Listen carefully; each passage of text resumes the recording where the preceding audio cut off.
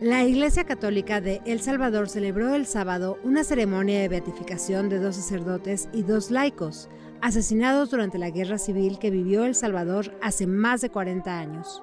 El 12 de marzo de 1977, el padre Rutilio Grande conducía un vehículo en una carretera rural, acompañado de dos amigos, Nelson Rutilio Lemus y Manuel Solórzano, cuando fueron atacados.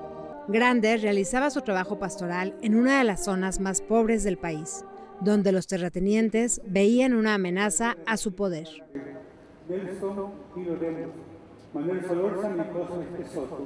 Solórzano solía acompañar al sacerdote y ese día se sumó Lemus, que ahora será recordado como el primer adolescente salvadoreño declarado beato. Tres años después, el sacerdote italiano Cosme Pesotto murió a tiros mientras oraba frente al altar de su parroquia por miembros del ejército salvadoreño.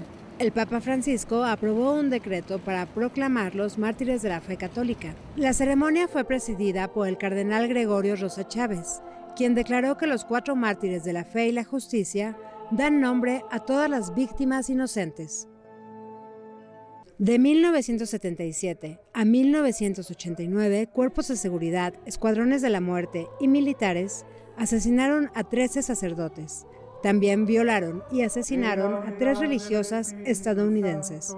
Ninguno de estos crímenes fue esclarecido. Lisette Romero, Associated Press.